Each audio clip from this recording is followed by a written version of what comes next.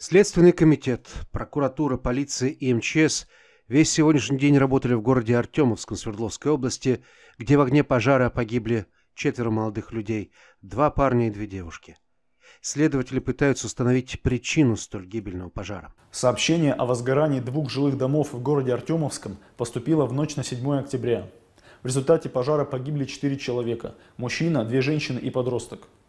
По предварительным данным, возгорание началось с одной из надворных построек, после чего огонь перекинулся на жилые дома. Оба сгоревших дома имели один адрес, улица Шмидта, 5, и принадлежали пожилой горожанке. Но фактически хозяйничал в этих домах ее 22-летний внук Данил Иванов. Молодой человек официально не был трудоустроен, но отличался умелыми руками, подрабатывал на собственной «Газели». Накануне вечером в доме топили баню. Вот что рассказала городскому порталу Е1 мать Данилы и его 16-летнего брата Тимофея. Мы были там около пяти часов вечера, мылись в бане, все было хорошо, а утром Даня сгорел прямо в бане. Он мылся в это время, он всегда ходил по несколько раз, а Тимофея нашли в доме на диване. Вместе с Данилом в бабушкином доме жила его 18-летняя подруга Анна Запрудина.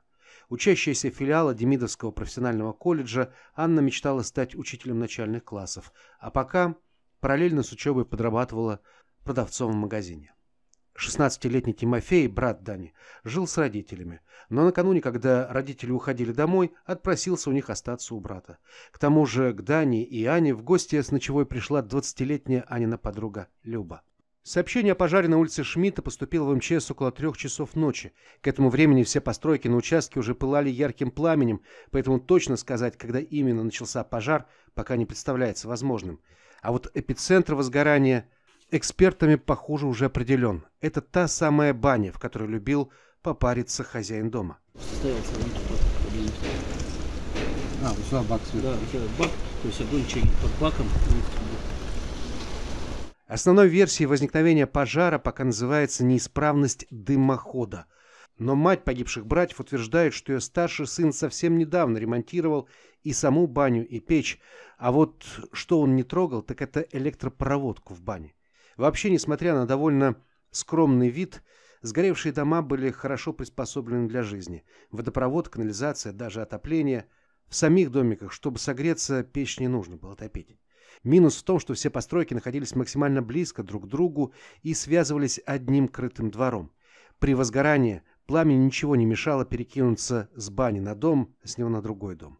К тому же, как отмечают в прокуратуре Свердловской области, сгоревшие дома не были оборудованы пожарными извещателями.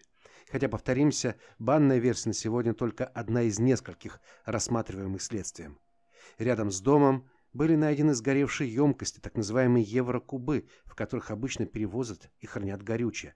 Судя по тому, что люди погибли в разных местах, не исключено, что пламя распространялось моментально, не дав потерпевшим времени на эвакуацию. Для того, чтобы наиболее тщательно установить все обстоятельства трагедии, по этому факту Следственным комитетом по Свердловской области возбуждено уголовное дело по статье Уголовного кодекса «Причине смерти по неосторожности двум или более лицам».